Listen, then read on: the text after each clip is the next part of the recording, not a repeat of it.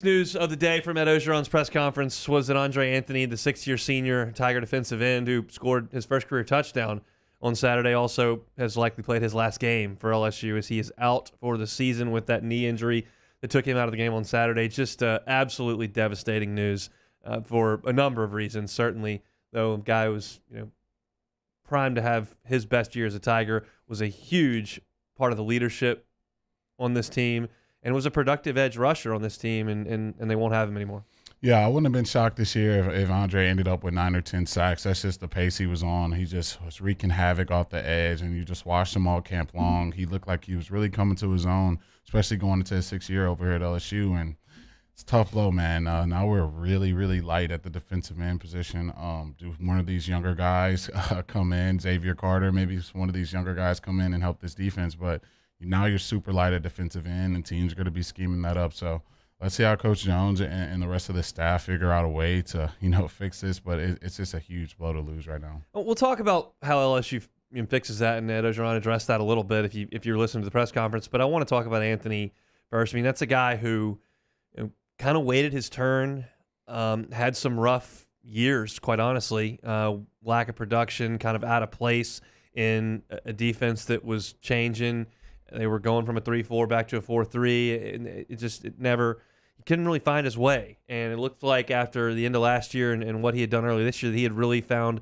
his spot and was playing some great football. And to be quite honest, as I mentioned, he's a, a maybe the leader of this team. And he chose to come back for a sixth year, could have moved on and tried to, to trace that NFL dream. He decided to come back for a sixth year to play. And quite frankly, I, this LSU team in my opinion, is not done losing football games. And to have guys in the locker room like Anthony to keep things on the tracks when you're going through some adversity is so important. And he's still going to be there, but he's not going to be out there practicing every day. And he's not going to be out there on the field in the games. So you wonder if that leaves a void. We'll just have to see. Yeah, well, they talked about that last year when they lost to Mississippi State. The turmoil kind of just took over that locker room. You lose Joe Burrow, you lose a lot of leadership in that locker room and things go south, they go south fast. And so that's where it goes to the veteran leadership. A guy like Andre is a perfect example of a guy who, after the UCLA game, just you know tried to keep everyone's head on straight, tried to you know remind everyone while we do this, we our goals are still in front of us. And you lose that guy, it's just a big blow emotionally, leadership wise, and uh, and his play on the field. The dude was going to be probably our sack leader this year. You lose your sack leader, and now you got to find ways to replace that. So huge blow for this defense, but still a lot of talent in that defensive line room. Let's see how we move things around. So Ed Orgeron mentioned that. He said Ali Gaye is expected back this week. So that's a good thing. You had him out for a couple weeks. Now he should be back in the lineup this week. So that's going to be one of your starting defensive ends. They have moved Mason Smith to defensive end, and he's going to get some more reps on the outside. They've got a lot of depth on the interior of the defensive front. Hopefully, Glenn Logan comes back in the coming weeks. But do you like Mason Smith playing outside a little bit?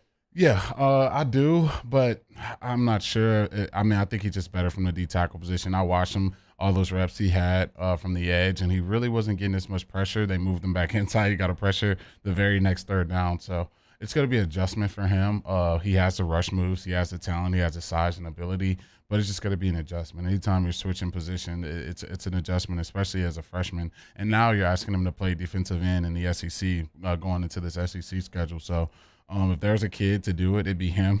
He's a five star prospect, best player in the state, and just a kid who's really come on alive as he's as the season's gone on. So let's see what he does at defensive end position. But if you really had to ask me, I'd rather just keep him at D tackle. And BJ Ojulari is going to be your other defensive end uh, opposite Ali Gaye.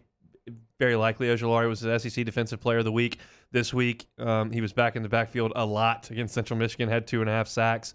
Um, so, you know, with on the outside, you're talking about having Gaye, Ojulari. You can bump Mason Smith out. I don't know if they want to play know Jarrell Cherry maybe a little bit more. He got some action on Saturday night. And on the inside, you know, you stick with Neil Farrell and Joe Evans, and Mason Smith, Jaquelin Roy, Jacobian Guillory got some snaps. So it's not as if LSU is is totally out of bodies here. Uh, they're just not quite as deep on the edges as they were, you know, when they entered the season. But it's good news that Ali Gaye is going to be coming back, and maybe that Mason Smith can give him a little help uh, when they want to play, you know, maybe on some first downs against the run, which you you know obviously won't see as much of this coming week. But they've they've got some numbers there.